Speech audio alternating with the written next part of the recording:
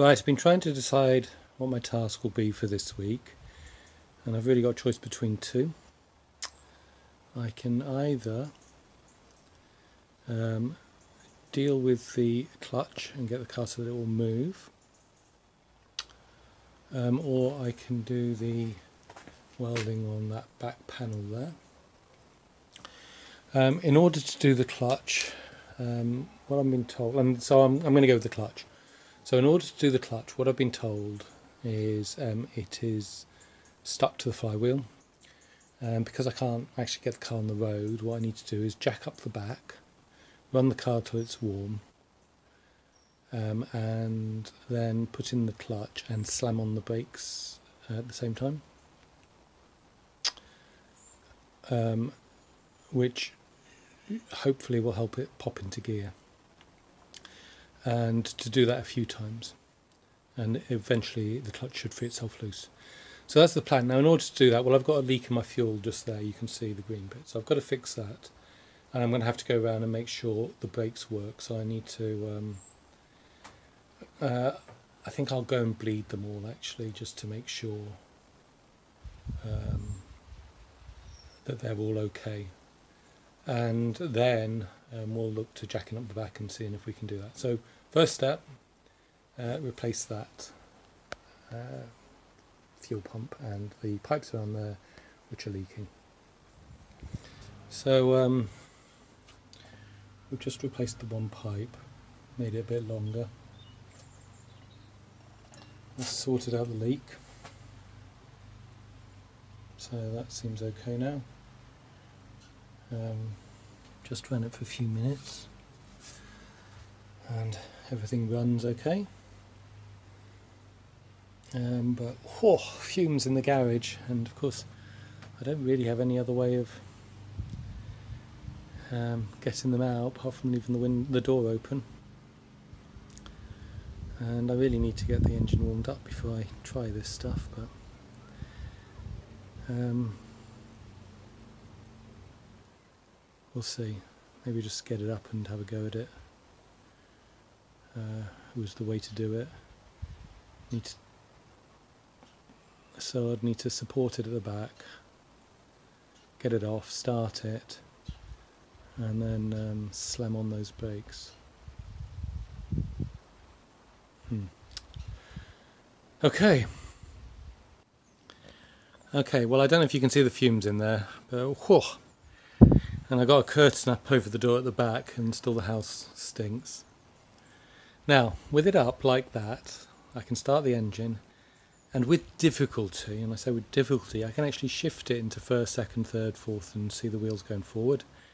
If I try to put it into reverse though, the wheels crunch like mad. So, I don't know what that means.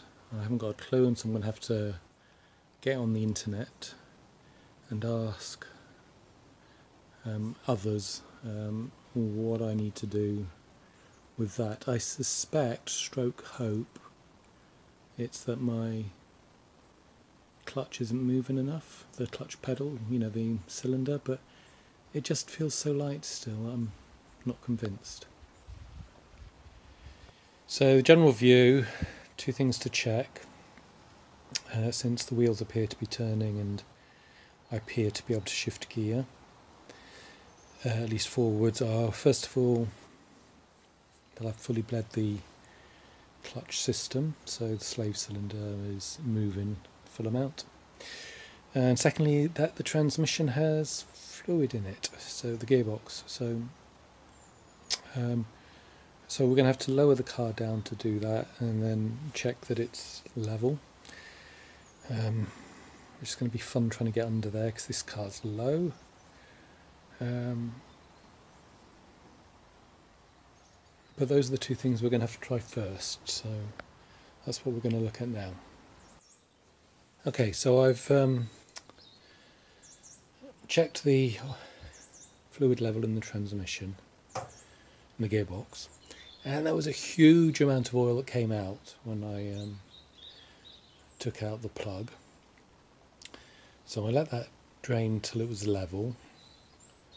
Um, a car is meant to be on level when it's doing that. My only concern, I guess, is that tyre's a bit flat, so um, it could have drained a little bit too much. Um, so maybe I need to pump that up and just check it again. Um, but I'm I'm trying to work through this again. So I tried starting the car with my foot on the clutch and it in gear and it jumped forward. So that means that the clutch has not disengaged or you know the clutch is stuck to the flywheel and yet when I lift the back and run it I appear to get movement um, and I appear to be able to change gear at least going forwards if not back. Um, and if I start it in neutral on the ground I can't get it into gear. Okay, so although I can change it with difficulty when it's lifted, I can't change it at all when it's on the ground. So I think the clutch still hasn't disengaged. I'm going to check that over a couple of times. Um, make sure I've understood that right, but that's where I think I am. So actually I don't think I have that clutch disengaged yet. So yeah. Okay, so we're sat in the car. We've got it in first gear. We turn it on and we can see the wheel turning. Okay, and I can pull it out of gear. Goes back into first. Oh. I can get it in and out of first, okay, but I can't get it into anything.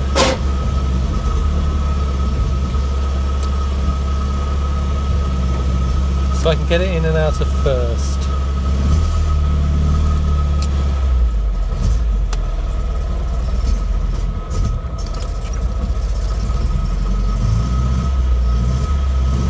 Alright, and when we try to stall it,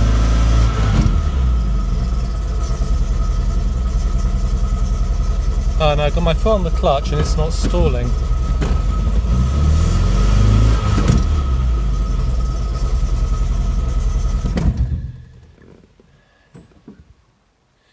But it stalls when I take my foot off the clutch. Okay. So it's disengaged.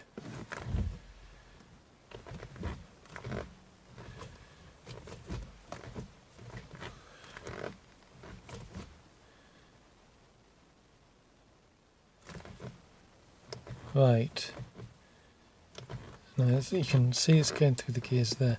So I think this must mean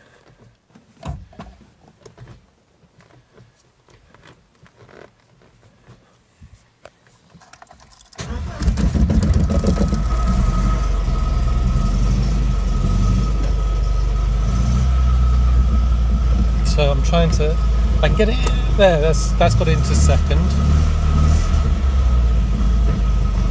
That's got it into third.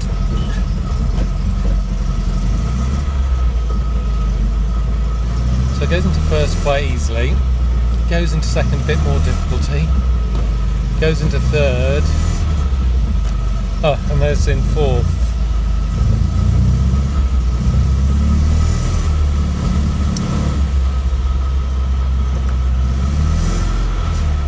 Okay.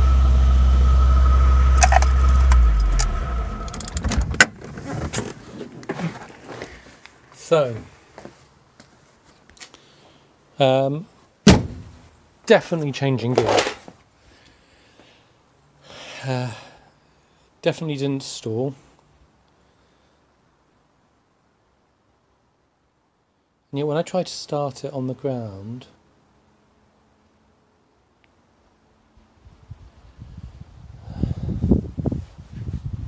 I tried to start it on the ground, it jumped forward.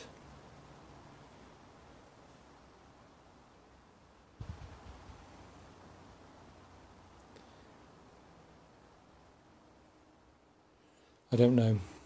Okay. Okay, um, we've just seen that the car doesn't stall when I slam on the brakes with my uh, clutch in, clutch pedal in. So it must be disengaging because if I release the clutch pedal it then stalls. So I'm going to try bleeding that clutch again um, to see if that's where the issue is in that I'm not getting enough movement on it. Um,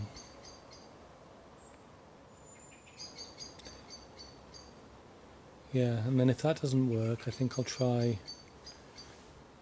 I could try removing the slave cylinder again, putting a different push rod on, maybe one that's. Um, I have a new one. I don't know if potentially it's slightly longer than the old one or something like that. I guess that's a possibility. Anyway, so we'll start by trying to bleed it again. Okay, so I've got a. I never really see what's going on here. So I'm going to try to record it. I can see, hopefully, I've got push rod here, which hopefully I'll see move just there. And then I've got fluid in here, and you can hopefully see that it goes up to there at the moment. So Let's be very careful with that. Then not touch it. And I'm just going to top up the top.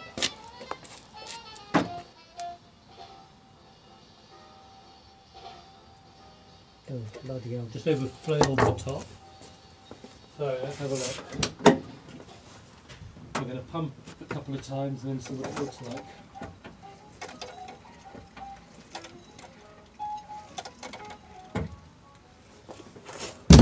So I pumped four times there.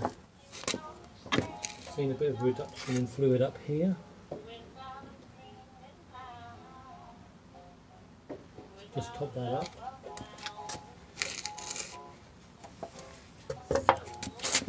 And then um, is that air bubble I can see in there? No, I don't see any air bubble in there at the moment. So based on what I've seen, that would imply we've had some bleeding because there's no...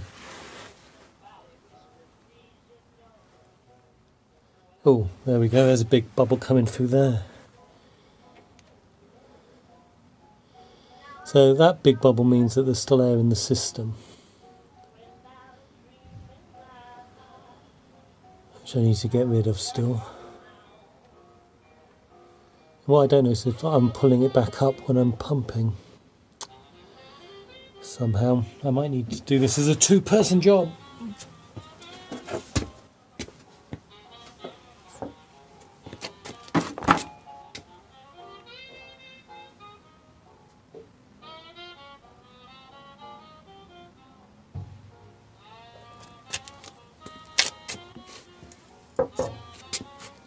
Filled it, topped it again up here.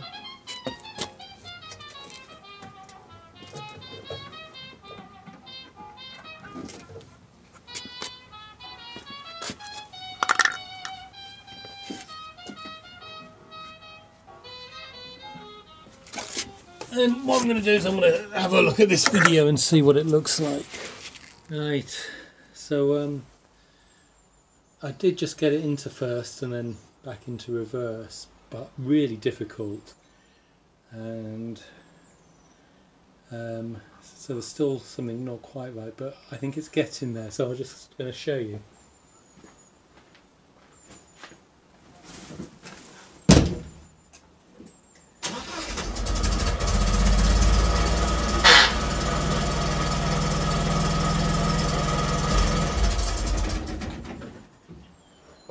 Of going forward.